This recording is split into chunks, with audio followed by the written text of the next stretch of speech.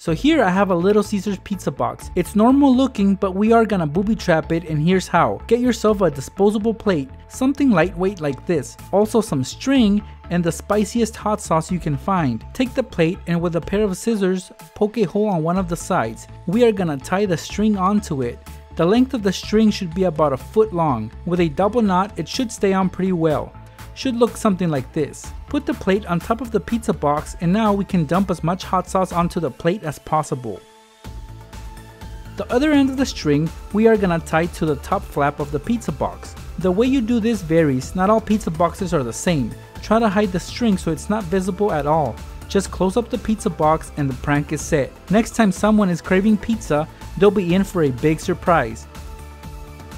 We'll totally ruin the pizza for them, especially if they don't like any spicy foods. I myself love spicy foods, so this prank would actually be more like a life hack for me.